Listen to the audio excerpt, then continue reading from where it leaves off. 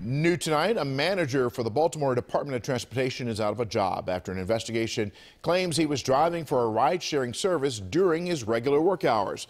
The Office of the Inspector General found the manager frequently arrived late for work but still reported normal work hours. While the former employee denies the claims, investigators say they found the locations where the manager drove, which were outside of Baltimore City and instead in the area where he lived.